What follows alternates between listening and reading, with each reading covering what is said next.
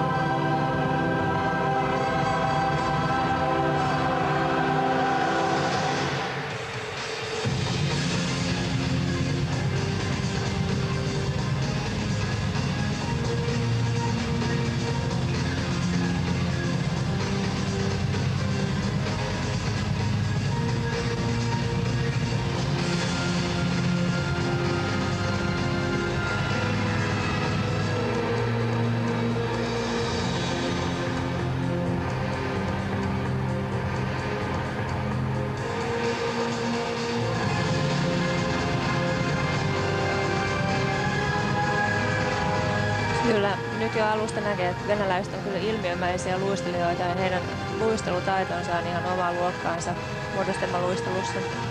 Mutta sitten taas sääli, että valmentaja ei ihan osaa hyödyntää sitä loppuun saakka. Eli tuossa piirissä esimerkiksi askelsarja jäi hyvin hyvin helpoksi, joka tarkoittaa sitä, että heidän piirin pisteensä jäävät sitten alemmalle tasolle kuin mitä tuolla huippujoukkueissa.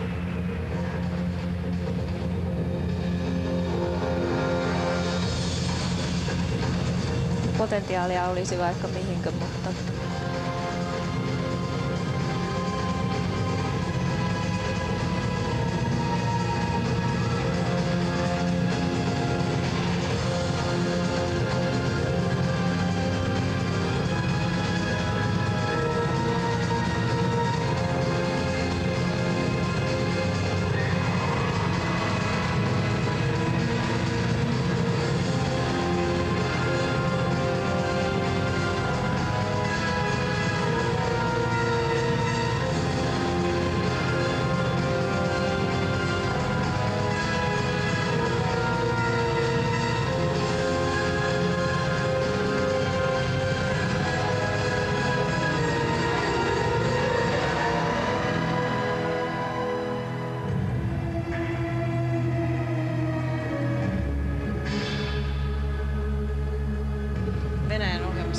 vaihtelua, todella upeita kohtia. Sitten taas joissain kohdissa yhtäaikaisuus ei ole ihan loppuun asti vietyä.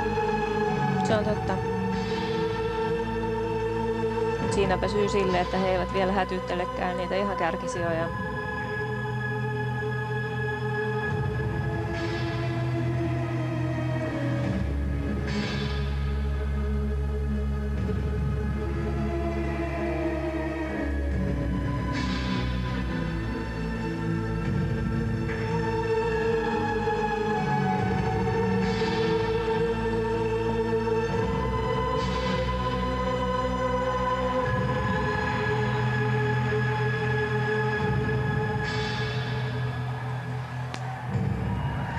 Siinä kyllä nosto, joka on kyseenalainen. Toi kyllä sanoisin, että on ihan vertikaali.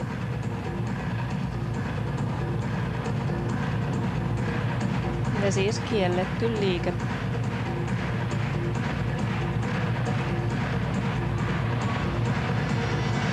Lähtee heidän blokkiinsa ilman otetta.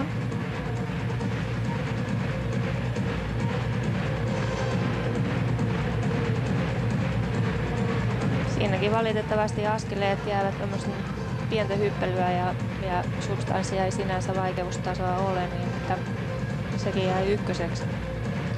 Tosi kauan kesti tämän yhden luistelijan palaaminen kuvioon. Se on totta. Ja siitä ylituomari vähentää sen kaatumisen keston perusteella sitten pisteitä.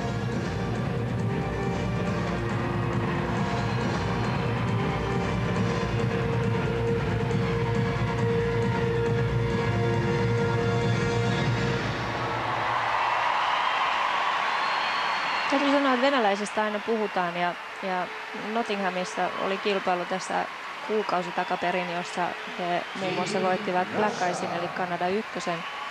Ja jotenkin odotin kyllä enemmän tältä joukkueelta kuin mitä tämä nyt oli. Jäi vähän semmoinen haljuolo tästä koko ohjelmasta. Mitä pidit nyt näistä puvuista? Ja ehkä se oli kuitenkin tähän ohjelmaan sopiva puku. En sinänsä näe mitään estettä sille, etteikö tässä ohjelmassa olisi voitu hameitakin käyttää, mutta kun tämä nyt kerran on sallittua, niin mikä ettei. Tässä juuri tämä yhden joukkueen jäsenen pitkäaikainen poissaolo tuosta kuviosta. Kyllä.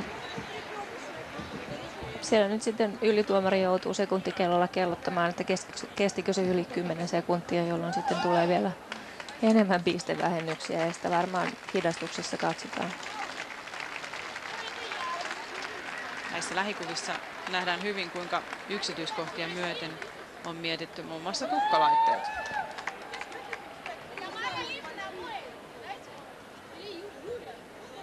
Siinäkin hyvä esimerkki taas piruetissa siitä, että oltaisiin voitu tehdä huomattavasti vaikeampi. Nyt siinä oli vain seisoma piruetti, joka on siis ykköstason piruetti ja on ihan varma, että tämä joukko olisi pystynyt huomattavasti vaikeampaankin.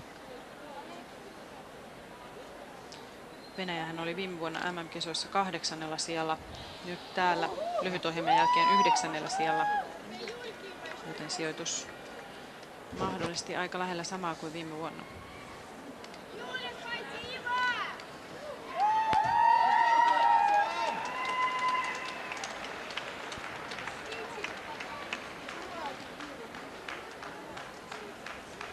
Aika erikoista nähdä muodostamaluistelijalla noin isot korvarenkaat. Se ei kyllä ole tavallista. Ja se on aika monen riski, että joku hiha tai, tai käsi tai jotain tarttuu siihen korvarenkaaseen, jolloin seuraukset olisi aika ikäviä. Että se on kyllä harvinaista.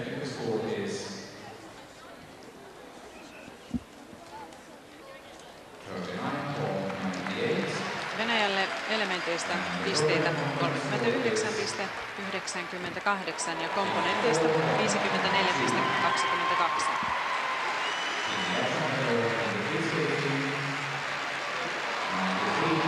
Yhteensä siis